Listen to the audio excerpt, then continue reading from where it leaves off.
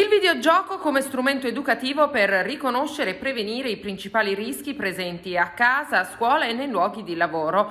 Quarta edizione degli Scaccia Rischi, le Olimpiadi della Prevenzione, un progetto concorso in collaborazione con l'INAIL destinato a tutti gli studenti delle scuole primarie e secondarie di primo grado della Puglia per stimolare la riflessione sul fenomeno infortunistico, sui rischi che ci circondano e sulle precauzioni da utilizzare per evitare che i rischi si trasformino in danni per la salute. L'ultima edizione ha visto la partecipazione di 6.751 studenti e di 105 docenti, raggiungendo 1, 1,1 milioni di interazioni sui social. L'obiettivo è bissare i numeri del 2020. Beh, le novità sono legate alla circostanza che noi stiamo cercando di eh, puntare sempre più sul, su queste nuove generazioni. Il, le modifiche del, del, programma sono quelle che insomma, avevamo già preventivato ma che in qualche modo sono state condizionate poi dalla pandemia. Noi ribadiamo il successo che abbiamo avuto negli anni scorsi con questa nuova edizione